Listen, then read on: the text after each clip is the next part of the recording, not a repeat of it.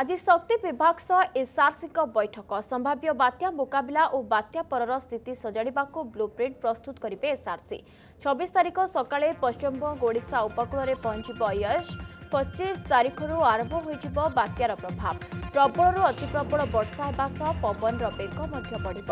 ଏନେଇ ପୂର୍ବାନୁମାନ କରିଛି ଭାରତୀୟ ପାଣିପାଗ ବିଭାଗ। ଏପଟେ ସମ୍ଭାବ୍ୟ ବାତ୍ୟାର ମୁକାବିଲା ପାଇଁ ରାଜ୍ୟରେ ଆରମ୍ଭ ହୋଇଛି ପ୍ରସ୍ତୁତି। ଏସ୍ଆର୍ସି ବିଭିନ୍ନ ବିଭାଗର ସଚିବଙ୍କ ସହ ଆଲୋଚନା କରି ପ୍ରସ୍ତୁତ ରହିବାକୁ ନିର୍ଦ୍ଦେଶ ଦେଇଛନ୍ତି।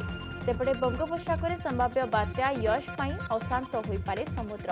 ଏଥିପାଇଁ ଗଭୀର ସମୁଦ୍ରକୁ ଯାଇଥିବା ମତ୍ସ୍ୟଜୀବୀଙ୍କୁ କୂଳକୁ ଫେରିଆସିବା ପାଇଁ ନିର୍ଦ୍ଦେଶ ଦିଆଯାଇଛି ଏନେ କୋଷ୍ଟଗାର୍ଡ ପକ୍ଷରୁ ସତର୍କ କରାଯାଇଛି କୋଷ୍ଟଗାର୍ଡ ଯବାନମାନେ ବିମାନ ଯୋଗେ ସମୁଦ୍ର ଭିତରକୁ ଯାଇ ମତ୍ସ୍ୟଜୀବୀମାନଙ୍କୁ ସଚେତନ କରୁଛନ୍ତି ଆସନ୍ତା ଛବିଶ ତାରିଖ ସୁଦ୍ଧା ବାତ୍ୟା ୟଶ ଓଡ଼ିଶା ଏବଂ ପଶ୍ଚିମବଙ୍ଗ ଉପକୂଳ ଛୁଇଁବା ନେଇ ଆକଳନ କରାଯାଇଛି ତେଣୁ ଏହା ପୂର୍ବରୁ ମତ୍ସ୍ୟଜୀବୀମାନେ ସମୁଦ୍ର ଭିତରକୁ ପଳାଇ ଆସିବା ପାଇଁ କୋଷ୍ଟଗାର୍ଡ ପକ୍ଷରୁ ସଚେତନ ଅଭିଯାନ ଆରମ୍ଭ ହୋଇଛି